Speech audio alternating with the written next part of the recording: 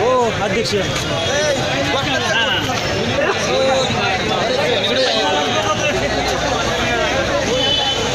शेतकरी संघटनेचा शेतकरी संघटनेचा एकच व्यक्ती एकच व्यक्ती कोण देणार नाही. देश का नेता कैसा हो देश का नेता कैसा हो अरे या गांडू सरकारचं करायचं काय? अरे या गांडू सरकारचं करायचं काय? स्वाभिमानी शेतकरी संघटनेचा!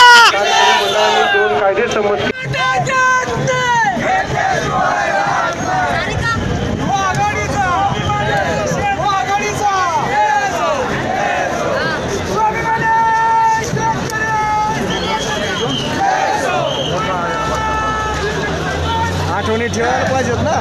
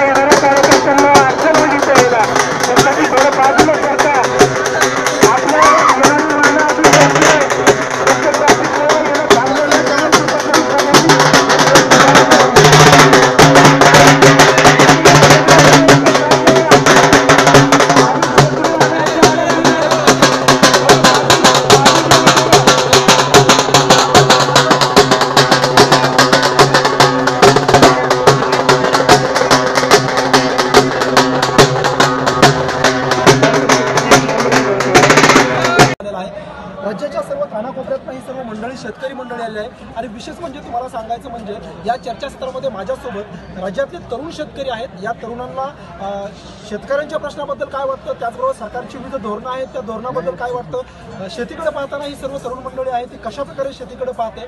या संदर्भात आपण चर्चा करणार आहोत. माझ्यासोबत ही सर्व मंडळी आहे मी पहिल्यांदा यांच्याकडे येत आहे. काय सांगाल? हा मोर्चा या ठिकाणी काढण्यात आलेला आहे.